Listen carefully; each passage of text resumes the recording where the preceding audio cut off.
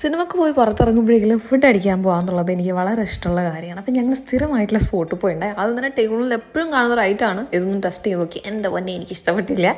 അതിനുശേഷം നമ്മൾ ഓർഡർ ചെയ്തിട്ടുണ്ടായിരുന്നു. ഓരോരോ ഐറ്റം വന്നിട്ടുണ്ടായി. വാട്ടർമെലൺ ജ്യൂസ് ആയിരുന്നു. പിന്നെ ഇത് ഹണി ഗ്ലേസ്ഡ് ചിക്കനാണ് എന്റെ പൊന്നെ രക്ഷയില്ല. മസാലയൊക്കെ ടോപ്പ് നോച്ച് ആയിരുന്നു.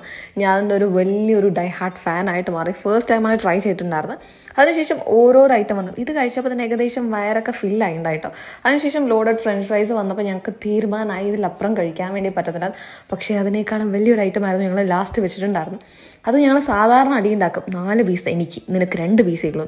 പക്ഷേ ഇത് വന്നപ്പോഴേ ഞങ്ങൾ അങ്ങോട്ടേക്ക് എനിക്കൊരൊറ്റ പീസ് മതി നീ ബാക്കി എടുത്തോ എന്നുള്ള വരവായിരുന്നു പക്ഷേ എന്തായാലും കഴിച്ച് തീർക്കാണ്ട് ഇറങ്ങാൻ പറ്റത്തില്ല. അപ്പം ഞങ്ങൾ ഇരുന്ന സാവകാശം മൊത്തത്തിൽ കഴിച്ച് തീർത്തിട്ടാണ് ഇറങ്ങിയത് ഗൈസ്